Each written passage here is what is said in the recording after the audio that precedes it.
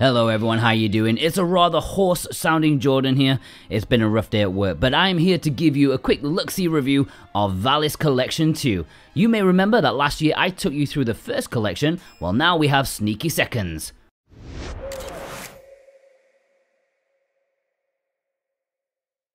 Before we get into the review, be sure to hit that subscribe button. It will be the best thing you do today, I promise.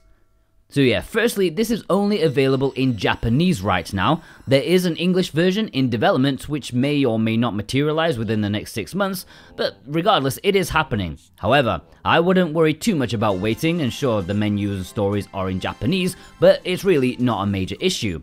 I get that some quaint people in the universe enjoy the story and lore of Valis, but in my experience, it's better if I make up the story in my head. So yeah, the Japanese does me a little bit of a favor here. It enhances my experience. But regardless, let's take a look at what this package holds.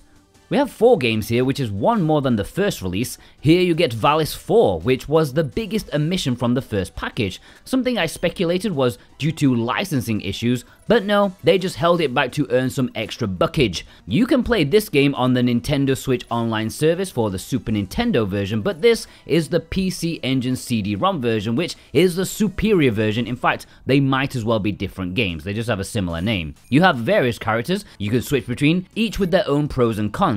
The level design is fairly nice for the time, at least compared to some other Valis games where they often forgot to do more than press forward. Don't get me wrong, there's plenty of that here too, but they've started to learn about level design. It's actually quite fun. It's the most accomplished game of the bunch, at least scientifically speaking, although it does harbour huge trial and error gameplay where enemies are almost unavoidable. And even when you've played it before and learned everything, there's so little room to get out of the way of them jumping at you from 2 inches away. It is good though, and like most Valis games, the music is really nice. The second game in this package, Syd of Valis, also known as Valis SD for Super Deformed, a deformed version of Valis 2, a cute as buttons action game that I actually like more than the original believe it or not. Everything is kind of blurred together but from what I remember, Valis 2 was kind of a step down compared to the other two games in the first collection. This is just fun. I mean, it's really hard. It's almost like a run and gun at this point rather than an action platformer. There's the neat concept of changing your outfits which affect your stats. I love it. I just wish it wasn't so hard compared to the other ones. And surprisingly enough, this game is actually my favorite of the bunch. Maybe of all the Valis games I've played so far. Shock horror. The third game is the Mega Drive version of the original Valis, sort of like a remake. Honestly, compared to the version of Valis found in the first collection, which was the PC Engine remake, which came after this one, this is just not as good in my opinion. Yeah, it is a bit different, but it's really slow and has bad hit detection issues. It's, it's not an awful game or anything, it's just that you've probably already got a better version. Finally, there's the last game in this package, and most certainly the afterthought slash bonus game. Remember that time when you once snorted cocaine through one nostril and a bunch of Skittles through the other one? Yeah, welcome to Valis on the MSX. This is a headache in video game form. I've played this for 20 minutes and genuinely have no idea what is going on. And I promise you, I did not speed this up. This this is how the game plays. The programmer for this definitely has something special going on that day in his head, and I hope he's doing well these days. I can imagine him being wrapped up in a straitjacket now. This is utter hilarious nonsense, and it's not just because it's on the MSX. I've played MSX games when I did my huge Jackie Chan retrospective. That dude had a good few games on the MSX, and I played them, and some of them were fine. This this is like giving a preschooler a Red Bull and some Haribos. It has all the energy and looks like what they puke up afterwards. Jesus. If you need a wake up experience in the morning, this, this is the perfect dose. So that's it, that's four games. Valis 4 is a good game for sure, even if it is trial and error, but that's pretty much par for the course back in those days.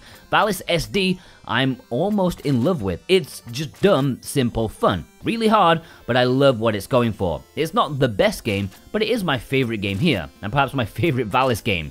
Valis 1, the Mega Drive remake, is it's okay, I suppose, but it's just a weaker version of what you already have.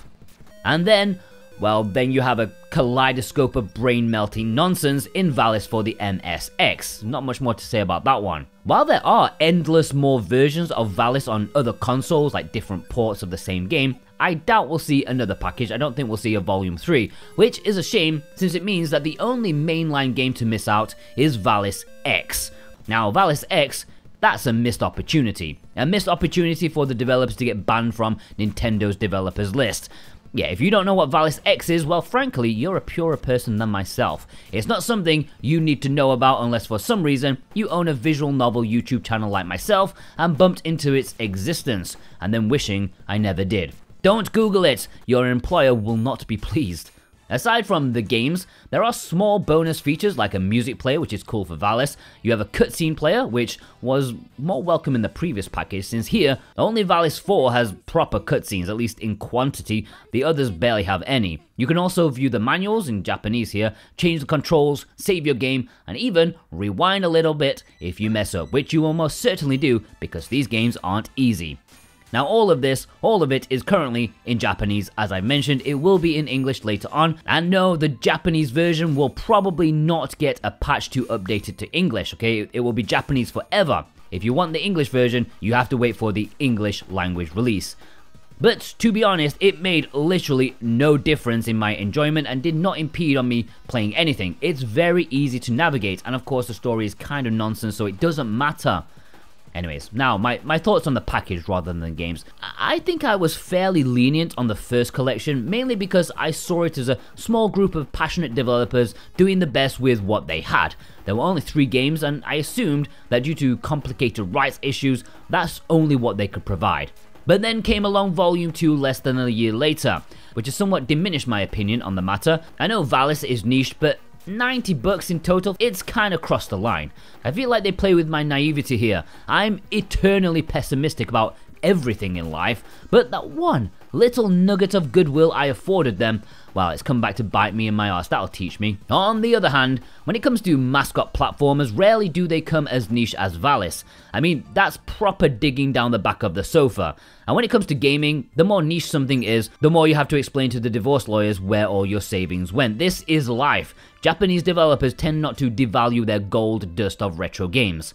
I have no idea how much this is going to be when it releases in English, but the last one was 40 bucks digitally, more physically, and this on the Japanese eShop is 6,380 yen, which is about 45 bucks. So yeah, like 85, 90 dollars for the whole set is expensive and certainly overpriced in my opinion when it comes to other collections out there. It should have been all on one cartridge for 40 bucks. That that would have been great. However, if that doesn't bother you and you want to grab it on the Japanese shop early, remember, without English, then check the links in the description for eShop credit for the Japanese eShop. Or you can order it physically with the links below and get a 5% discount with our current discount code STEENBOK, which, well, that will run out next week. So if you're watching this in the future, subscribe, watch the latest Let's Get Physical video every Monday for the updated discount code. And of course, you can now pre-order the English physical version if you can stomach giving your money to limited run games. They have a six week pre-order period for that one. So yeah, if you're watching this in the future, then uh,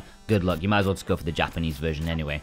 Overall, look, regardless of value, uh, you got a quad set of fun enough retro platformers that are a window into a very different culture from a very different time. In that regard, it's a nice little history package that has like really playable games, well, aside from the last one. I wouldn't rush out to buy it because the price for this has certainly put me off.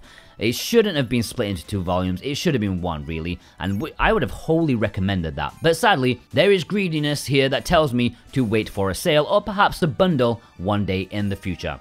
That aside, just for the package, regardless of price, the package as a whole for the games, a nice solid 7 out of 10. Okay, thank you so much for watching. If you watched all the way through, then leave me two money bag emojis for the two bags of cash they'll earn instead of one for two packages. I honestly think that one would have been a bigger bag of money in total because that's that's, that's decent value. But yeah, I think they put a lot of people off. Hey, I'm not a businessman for a reason. Please check out the review of the previous collection if you didn't already. I was I was kind of uh, a bit more generous on that one as I said. I'd have probably bumped it down a little bit if I'd have known this volume 2 was coming. Check out some of our digital bargains on Sunday and physical Switch releases on Monday. And be sure to check out my brand new channel, A Bit More Jordan, for a lot more me. Check out that Jackie Chan video. There's some MSX games in there. It's pretty good. Go watch it.